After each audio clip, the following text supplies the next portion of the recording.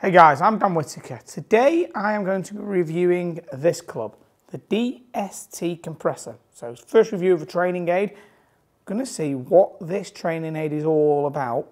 It is meant to be fantastic for impact, so we'll take a look at it right now.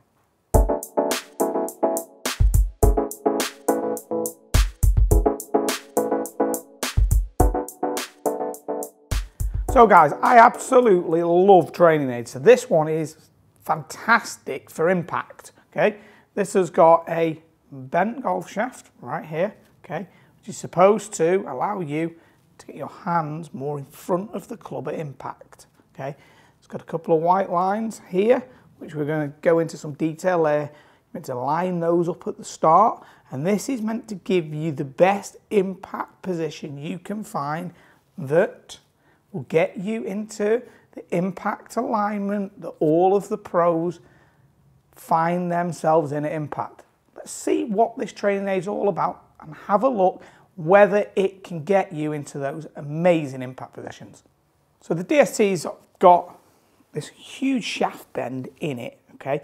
And on the website, it tells me I've got to line up these two white lines here and here to create a straight line. Now, if you have a look here, when that creates the straight line, which is now on the floor there, the hands are a long, long way in front of the leading edge of the club, okay?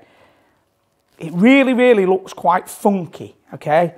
And straight away, I've got a few reservations for this. It's kind of, it just feels really awkward, okay? Now, what they're saying is, from here, I've got to get my nose over those two white lines, which is right there, so now my hands are so far forwards on my body relative to where I'd normally set up, okay? I honestly want to be set up here, okay? But on the site, it's telling me that if I start off with the hands forwards, I am going to return the golf club to back to where I started. I've got a few problems with that personally, okay? Every top player I've seen gets the handle further forwards. Okay, so they're not returning to the same position. So is this, with me creating this straight white line here, the hand so far forwards on the body, creating a false or fake impact position? It genuinely feels like it's going to because I feel like I can move it back here every time, but there's so many other issues that are going to go on in my swing that I don't like about this. But first off, let's have a look at Justin Rose's swing, okay? Let's see where he gets to. So we can see right here, here's a address. Here is coming into, and there is impact. Those hands are definitely further forwards at impact. We can see the hands are way further forwards than where it started and the shaft is leaning forwards. Now, is this shaft and the left arm creating the angle that the DST wants me to? 100%. It is 100% the impact position this is saying, but it's not coming back to the same position. So, that's my number one gripe with this training aid. It's saying start off with my hands miles forwards, okay, to create this straight line, and I'm going to return my hands back to that spot. Well, surely I can just get my 8 iron and push my hands forward and be able to do that. And hopefully that's going to work because it's the dynamics of the golf swing, the weight transference and everything else that's going to get my hands further forward. Now the other major gripe I've got, okay, is from this address position when the hands are so far forwards, as I make my backswing, okay, the club head is way further on than my body. So I now turn my body. And the club has gone way inside and really closed. The right hand's very on top. And the club's got behind my hands. To set the golf club is so difficult. All I can do is shut the club face. From here, if I want to try and open the club face, I have to roll my hands, which is, this feels so horrendous as a balance point on the shaft. Okay, so it's actually taking away from the fact that I can't make a one-piece move. I turn back, this position here, the club should be an extension of my belly button. This is pointing outside my left hip. There's my belly button. But as I said, that feels so awful. It's a great balance point for the club and the shaft, the way it's been designed. But I don't think it's going to help me get my backswing in place. So is this going to be something that is actually going to hurt my backswing and hurt my golf swing. You know, I think it would be a great idea for people if you want to use it making half swings where you're going like this and you're basically hitting chip type shots, going back there and coming through and just learning not to have any flip. But for me, I've got some huge reservations. I mean, 74.95, it's not the cheapest training aid in the world. It's not the most expensive, okay? And it's really nicely put together and looks fantastic. But the problem is this is surely going to create more faults, okay? We'll take a look at a student in a lesson with it and see if it can help his impact. That's got to be the number one thing because whether I, what I think of it doesn't really matter. It's how the student performs with it.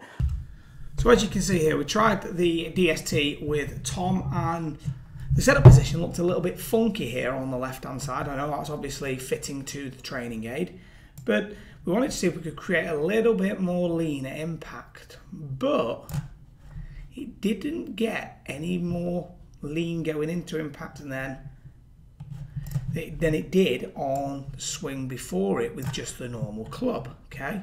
So we can see here that impact position is pretty solid okay? Hands aren't necessarily leading in that much further forwards okay? They're fairly similar you know footwork's really similar etc okay? But the thing that kind of surprised me the most was when we've changed to the DST from the down the line here is the backswing. Now obviously this is original one, just normal swing on the right, club's going up quite nicely, a little under the forearm, granted it's just a hair under plane, okay, but it's pretty good at the top.